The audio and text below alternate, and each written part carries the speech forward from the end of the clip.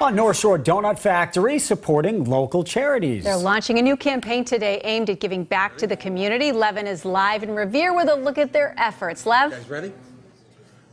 Hey guys, I'm here at Dandee Donuts, and they've actually put me to work as we're getting ready for things. Is this what you wanted? No, I want the chili. This is a tough crowd, by the way. It's a very tough crowd. I'm here with David Ferrara. David, uh, first and foremost, how great has it been that you guys have been able to get in touch with the community and do different community things? It's been amazing. The community's been great for us, uh, from the health department to the police department to the fire department.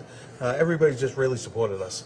Tomorrow you're going to have the, the the dog adoption out there by the MSPCA. How great is that going to be in the parking lot to see all the dogs and all the fun that's going to be? It's going to be great. We, we got radio stations, we have a DJ, and again, it's just giving back to the community. So Oh, so you've been here. You've grew up in Somerville. Somerville, yes. Somerville. What is it like to be part of a, a place where they can come in and you start them off, get their breakfast started, get their day started? absolutely, no, it's great to start people's day off. I mean, you sell people donuts and uh, make their day for sure. And, and by the way, they don't only just do donuts here. No, you guys are not. pretty much have a full menu of things that are here. From omelets to burgers to steak and cheese to salads to soups, and everything's made in house. Salads. Yes, sir. Absolutely.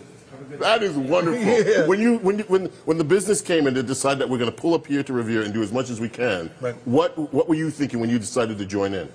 So we got great locations in Florida. Uh-huh. around since 1980. Okay. Um, and just the culture's been amazing. Like I said, we're a family in all our stores. So just being part of a family was what it was all about. And talk to me about these dog bone donuts. Absolutely. So we're making these to give back to the MSPCA. Yep. Um, all proceeds go right to them. Uh-huh. Uh, so yeah.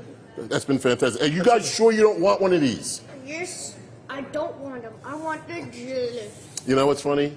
Sometimes you just can't please anybody when they have donuts in front of them. That is not the case with my man David, you, Liam, and myself, and Kate. If there's donuts in front of us, guess what?